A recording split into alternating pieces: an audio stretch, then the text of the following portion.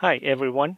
Today we will show how to enable PCI Express in a jailhouse root cell on the Sitara AM5728, which is available as a TI reference design through TI Designs, as shown here.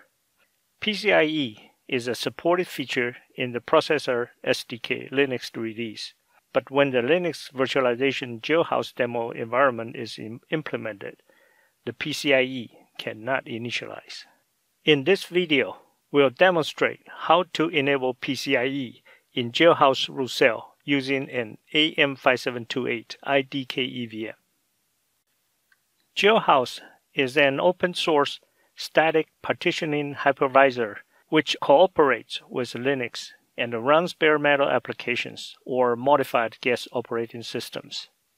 Jailhouse does not emulate resources that do not exist on the hardware. It just splits existing hardware resources into isolated compartments called cells. One of these cells runs the Linux OS and is known as the root cell. Other non-root cells borrow CPUs and the devices from the root cell as they are created. These non-root cells are called inmates. First, let's take a high-level look at the jailhouse hypervisor initialization process.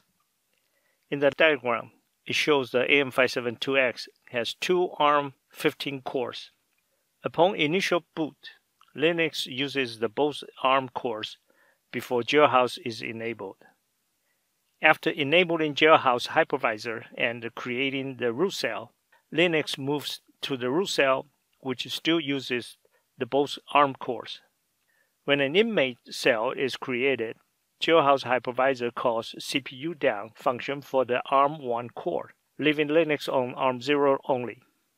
The new cell uses the ARM1 core and hardware resources dedicated for this cells as defined in the cell configuration file. There is a separate video demonstrating the Jailhouse hypervisor virtualization. It contains info on hardware setup, software installations, and enabling Jailhouse. In this video, we will focus on enabling PCIe specifically in root cell. In the processor SDK release, the file am572x-idk.dtb is the default device tree configuration file for the IDK. The file am572x-idk-jailhouse.dtb file is the device tree with jailhouse configuration. When booting up the AM5728 IDK using default configuration, the PCIe device is enumerated and shown in the boot logs. Let's change the DTB file to use the jailhouse configuration and boot up the system. The PCIe device is not present, and the boot logs shows errors. The reason that PCIe is not enumerated in jailhouse configuration is because there is a conflict in GPIO3 usage between PCIe and the jailhouse demo application. In the AM572X-IDK-common.dtsi file, it shows that PCIe root complex is using GPIO3. However, in the AM572X-IDK-jailhouse.dtsi file, the GPIO3 is disabled. Since we are not running jailhouse demo, we need to get the GPIO3 back for the PCIe by removing the GPIO3 entries in jailhouse DTS file. The DTB file needs to be rebuilt after the GPIO3 entry is removed from the jailhouse configuration. Then transfer the new DTB file to the file system and boot with it. After kernel boots up, the logs show PCIe is able to enumerate. Let's uninstall the PCIe driver using the modprobe-r command and reinstall it in jailhouse root cell. The PCIe driver reinstallation in jailhouse root cell fails and the console shows errors.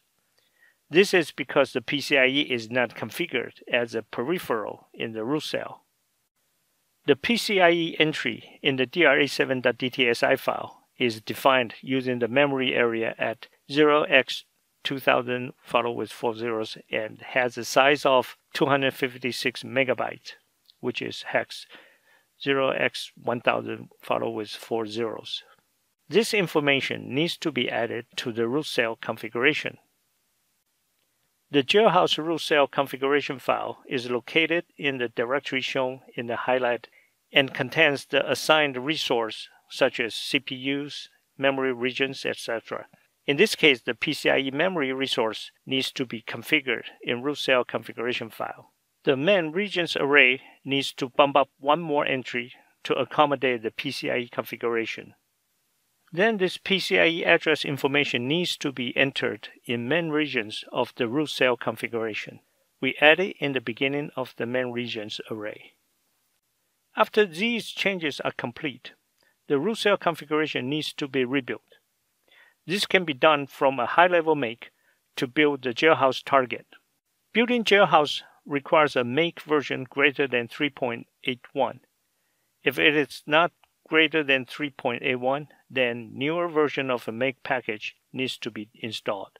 In my case, make-4.1 package is downloaded and installed on the Linux host. If the system already has the newer version of make, you can issue the make command directly. To build jailhouse, just issue the command as shown in the screen. Then copy the AM57XX EVM.cell to the IDK file system.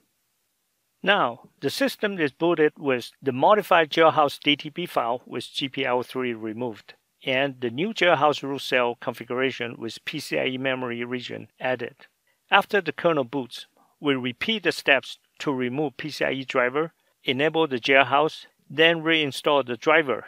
It is successful, and the device is enabled in root cell now. This concludes the demonstration for enabling PCIe in jailhouse root cell on AM5728 IDK. Additional information is provided here for reference. Thank you for taking the time to watch this demonstration.